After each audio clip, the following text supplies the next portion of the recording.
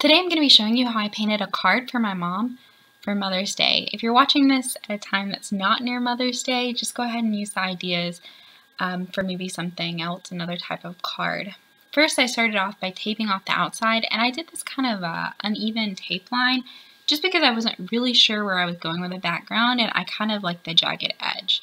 Then I took my pencil and lightly wrote out Happy Mama's Day. Um, I call my mom Mama it's kind of, it's a very southern thing, but, and then I used a pen that I had bought in Italy to go ahead and ink it. And I realized later that my ink was not waterproof, which is not such a great thing when you're trying to do a watercolor card. Additionally, I'm still trying to get used to writing with this pen, and the watercolor paper I'm using has some tooth to it. It's a cold press paper, so I did get a little bit of pen splatter on the bottom. Um, and next I'm just starting out by drawing the, the floral design I'm going to be using. It's kind of like a garden theme.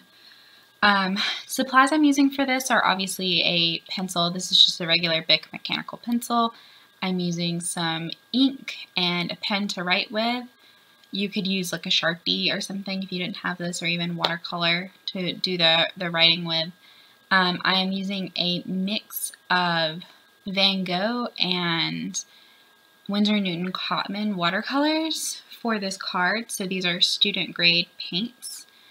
And I think, of course, the card itself is um, Canson watercolor. It's actually the paper and I cut it down to card size because I had ran out of cards themselves.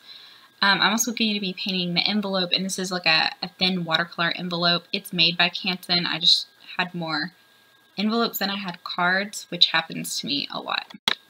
I think that's all the supplies I used. I did end up using, or trying to use a Sakura white jelly roller at the end, but the ink wouldn't come out, so I just used a little bit of white watercolor paint to do highlights.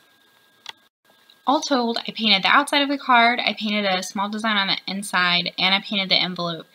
And it took me about two hours, which actually was a significant amount of time, and that's kind of because my cats were just being naughty the entire time.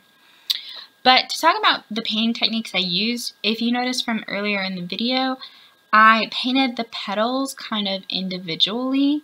So I don't paint the entire flower first. And I like to paint the petals individually and the leaves individually and let them dry and go back because then you'll kind of end up with a water line around the petals or where the ink or the watercolor is a little bit darker. And I kind of like that effect for painting flower petals. So oftentimes I'll paint petals individually and I'll skip petals so the petals don't touch.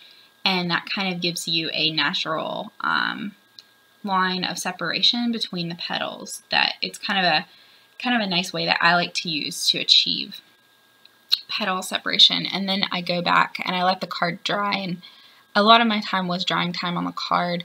And here's where I'm trying to use the jelly roller but I let the the card dry and then I'll go back and add finer detail over and over again. Um, and here I am, I'm taking the card off because I was happy with the front and I'm actually going to paint a just kind of a vine and floral design on the inside.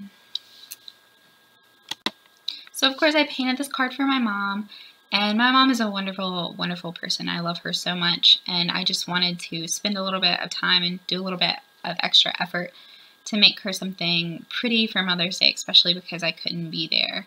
And I wanted to remind her that she is awesome. So, um, she always, always, always had beautiful flowers when I was growing up. And some of my favorites were the ones I painted on the front of the card, and I'll actually be painting them on the envelope, and you can see one of them in the background, are tulips. And they're not actually like my mom's favorite flower, are ones that are particularly strongly associated with her. She only had a few, but she's had these tulips ever since I was a child, and every spring, the most gorgeous tulips would just blossom in the side garden, and they were just so, so pretty. And so tulips kind of always made me think of her and her garden, and I just, they always made me think of spring as well. They're a spring flower, and Mother's Day's in the spring, but I hope that she enjoys her card, and I hope that you guys have enjoyed watching me paint this card. I had a lot of fun doing it, even though my kittens were very, very naughty the entire time and knocking things over. Um, I really like painting cards like this, and I hope to paint some more in the future. and film them and put them up on this channel to inspire other people to maybe paint some cards for loved ones. So this is what the end product looked like and hopefully about now some other videos for my channel would be popping up on screen. If you like this video, um, go ahead and subscribe to my channel or give it a thumbs up to let me know that you want to see more videos like this. Thank you so much and I hope you guys have a fantastic day.